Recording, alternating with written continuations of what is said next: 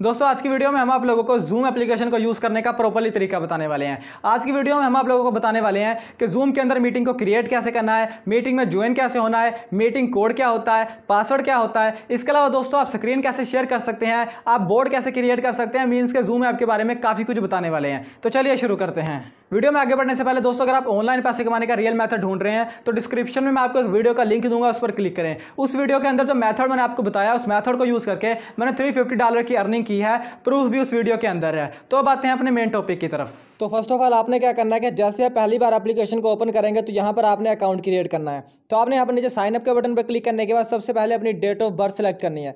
अब यहाँ पर दोस्तों, आपने जो डेट ऑफ़ बर्थ है, वो अठारह साल से कम सेलेक्ट करनी है कि आप अठारह साल से बड़े हैं। उसके बाद दोस्तों, यहाँ पर आपने अपना ईमेल एड्रेस डालना है। ईमेल एड्रेस आपने वो डालना है जिस पर पहले अकाउंट ना बना हो। अब यहाँ पर अगर पहले अकाउंट बना होगा तो आपका अकाउंट क्रिएट नहीं होगा तो मैं जल्दी जल्दी अपना नेम डालकर नीचे साइन अप के बटन पर क्लिक करता हूँ। अब ये कह रहे हैं कि जो ईमेल आपने दिया उस पर हमारी तरफ़ से एक मेल सेंड कर दिया गया है, अपना अकाउंट वेरीफाई कर लें। तो हम क्या करते हैं, यहाँ पर मेल को सिलेक्ट करते हैं। यहाँ पर आप देख सकते हैं जूम की तरफ़ से हमें ईमेल आया हुआ है।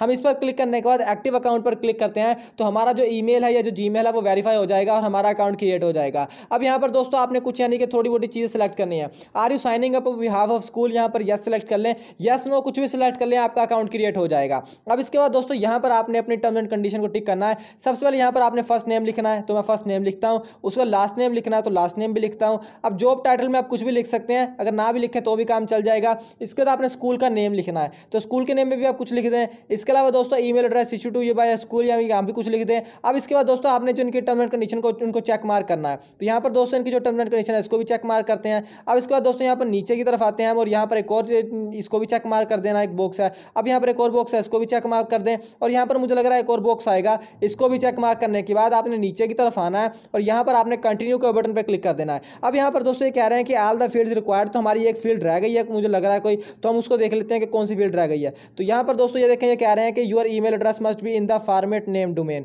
तो ये कह रहे हैं कि जो मेरा ईमेल एड्रेस है ना, वो पहले बना हुआ है, यानी कि किसी नेम से बना हुआ है। तो मैं क्या करता हूँ, यहाँ पर कोई ईमेल डालने की कोशिश करता हूँ। तो यहाँ पर मेरा ये वाला ईमेल है डालने के बाद अब मैं यहाँ पर नीचे कंटिन्यू के बटन पर क्लिक करता हूँ तो हमारा अकाउंट क्रिएट हो जाएगा। अब मैं कंटिन्यू के बटन पर क्लिक करूँगा तो आप देख सकेंगे कि मेरा अकाउंट क्रिएट हो गया है। अब आपने यहाँ पर पासवर्ड क्रिएट करना है। पासवर्ड दोस्तों, आपने स्ट्रॉन्ग पासवर्ड क्रिएट करना है, जिसके अंदर आपने इंग्लिश के वर्ड्स भी यूज़ करने हैं और मैथ्स के वर्ड्स भी यूज़ करने हैं और अल्फ़ाबेटिक वर्ड्स भी यूज़ करने हैं। तो दोस्तों, यहाँ पर आप देख सकते हैं कि मैंने वो पासवर्ड डाल दिया है। तो यहाँ पर दोस्तों, दोबारा डालते हैं पासवर्ड के एच ए एन उसके बाद दोस्तों ये पासवर्ड डालने के बाद आपने यहाँ पर नीचे की तरफ़ आना और यहाँ पर मैं बता दूँगा जो इंग्लिश के वर्ड्स हैं, उसके अंदर आपसे आपने कुछ वर्ड्स इंग्लिश के बड़े भी यूज़ करने हैं और छोटे भी यूज़ करने हैं। फिर जो आपका स्ट्रॉन्ग पासवर्ड बनेगा, वरना ये आपको अप्रूवल ही नहीं देंगे। अब इसके बाद दोस्तों ये आपने इस स्टेप को स्कीप कर देना तो आपने यहाँ पर नीचे स्कीप दिस स्टेप के बटन पर क्लिक करने के बाद गो टू माई अकाउंट के बटन पर क्लिक कर देना है तो आप अपने अकाउंट में लॉग हो जाएँगे। अब दोस्तों जैसे ही आपका यहाँ पर अकाउंट क्रिएट हो जाए, आप डायरेक्टली दोबारा से एप्लीकेशन में जाकर वहाँ पर अपना अकाउंट यूज़ कर सकते हैं। अब इसके बाद एप्लीकेशन ओपन करने के बाद आपने साइन इन के बटन पर क्लिक करने के बाद यहाँ पर अपना वो ईमेल एड्रेस और पासवर्ड डालकर साइन इन के बटन पर क्लिक कर देना है तो आपका जो अकाउंट है वो क्रिएट हो जाएगा और आप अपने अकाउंट में लॉगिन हो जाएँगे। तो यहाँ पर आप देख सकते हैं। अब दोस्तों, यहाँ पर मैं आपको एक मीटिंग क्रिएट करके दिखाता हूँ। तो आपने क्या करना है? यहाँ पर न्यू मीटिंग के बटन पे क्लिक करना है। उसके बाद दोस्तों, यहाँ पर स्टार्ट है मीटिंग के बटन पे क्लिक कर देना है। अब यहाँ पर मैं दोस्तों बता देना चाहता हूँ कि नीचे की तरफ़ जो पर्सनल कोड आ रहा है, इसको आपने इनेबल कर देना है। क्योंकि ये वाला कोड डालकर कोई आपकी मीटिंग में ज्वाइन हो सकेगा। उसके बाद आपने स्टार्ट है मीटिंग के बटन पर क्लिक कर देना है। क्लिक करने के बाद दोस्तों, आपकी मीटिंग स्टार्ट हो जाएगी। यहाँ पर आप देख सकते हैं।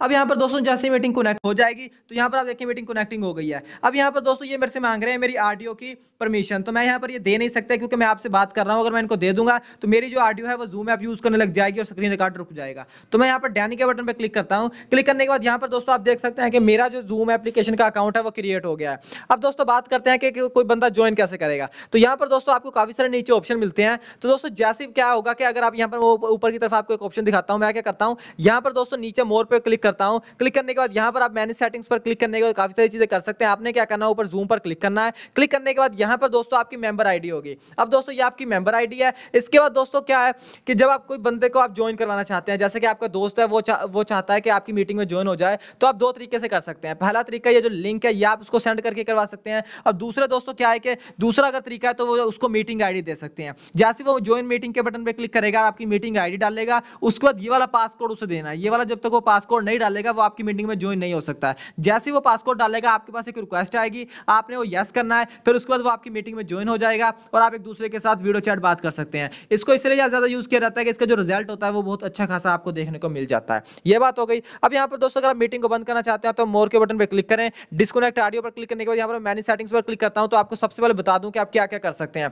अगर आप अपनी स्क्रीन शेयर करना चाहते हैं तो इस पर क्लिक करें। अगर आप दोस्तों, आप सारों के साथ चैट करना चाहते हैं तो इस पर क्लिक करें। इसके अलावा दोस्तों, यहाँ पर नीचे की तरफ़ मीटिंग का टॉपिक अवेलेबल है। अब इसके अलावा आप किसी पार्टिसिपेट का नेम भी शो करना चाहते हैं तो वो इस पर क्लिक करें कि जो ज्वाइन हुआ है, उसका नेम क्या है। ये हो गया। अब दोस्तों, ऊपर क्लोज के बटन पर मैं क्लिक करता हूँ। क्लिक करने के बाद यहाँ पर अगर आप मीटिंग को एंड करना चाहते हैं तो ऊपर एंड का ऑप्शन है, इस पर क्लिक करें और एंड मीटिंग फॉर आल पर क्लिक करें। अब दोस्तों मीटिंग होगी, वो सारों के लिए खत्म हो जाएगी, जो भी इस मीटिंग के साथ ज्वाइन था। अब दोस्तों, अगर आप कोई शेड्यूल लगाना चाहते हैं स्क्रीन शेयर करना चाहते हैं तो वो भी कर सकते हैं। मीटिंग्स के अंदर दोस्तों, ये आपका पर्सनल मीटिंग आईडी अगर आपके साथ कोई डायरेक्टली मीटिंग आईडी करना चाहता है, या आपके कॉन्टैक्ट्स हैं, इसको अगर मैं इनेबल कर दूँगा तो मेरे कॉन्टैक्ट्स में जितने जिन्होंने भी जूम एप्लीकेशन इंस्टॉल की होगी, वो आ जाएँगे। सेटिंग्स में आपका अगर आप अपनी यानी कि सेटिंग्स करना चाहते हैं प्रोफ़ाइल पिक्चर चेंज करना चाहते हैं तो वो भी कर सकते हैं।